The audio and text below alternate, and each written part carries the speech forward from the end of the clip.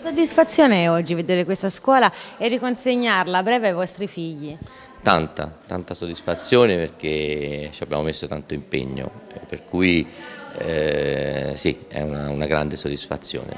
Eh, mentre noi facevamo i lavori diciamo così, di ristrutturazione, poi le mogli, le, le mamme dei bambini hanno pulito, insomma, ripulivano lo sporco che facevamo e per cui insomma siamo impegnati tutti, c'erano le famiglie al completo. Si sono rimboccati le maniche e vernice, pennello alla mano hanno rifatto il look alla scuola elementare di Staggiano, un'estate di lavoro per i genitori dei piccoli alunni per far trovare così tutto pronto per la prima campanella di settembre. La nostra iniziativa era nata in un'interclasse fra docenti e genitori, avevamo proposto un rinnovamento dell'ambiente che era un pochino eh, un pochino con i colori che non ci piacevano, allora abbiamo chiesto alle famiglie un, un, piccolo restyling.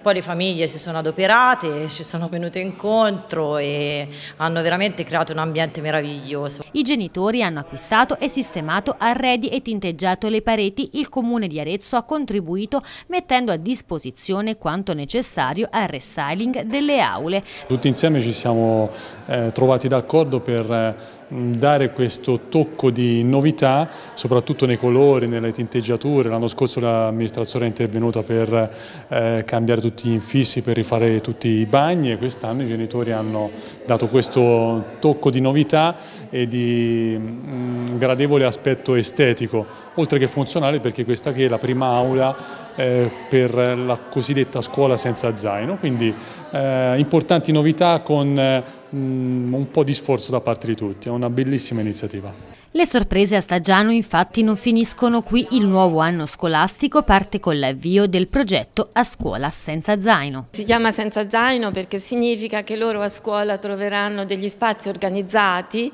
loro avranno una diciamo, cartella, una, una, borsi, una borsa carina, insomma trendy, con il materiale giusto per quello che dovranno fare a casa perché il resto lo troveranno a scuola, nei laboratori organizzati aperti.